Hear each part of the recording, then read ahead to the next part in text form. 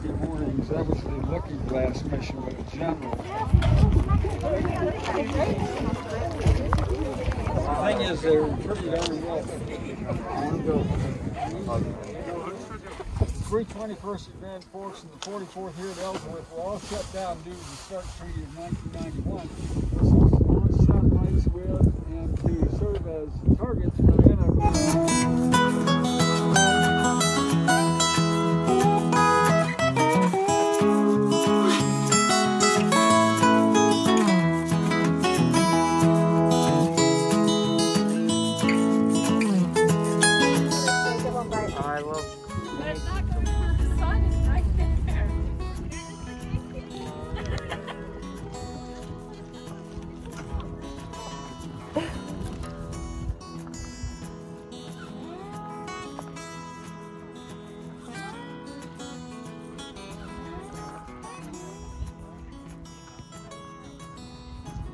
at?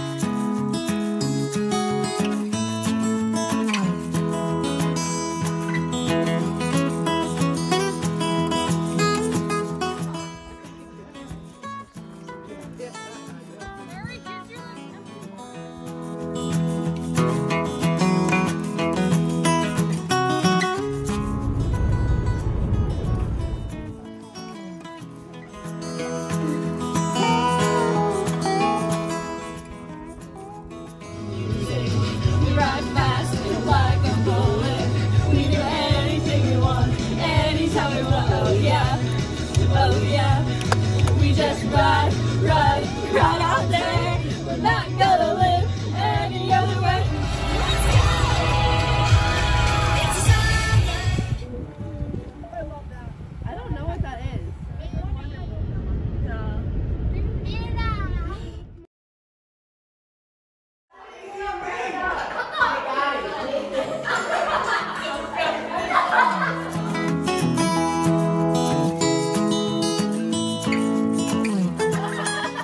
Where are you? In the hot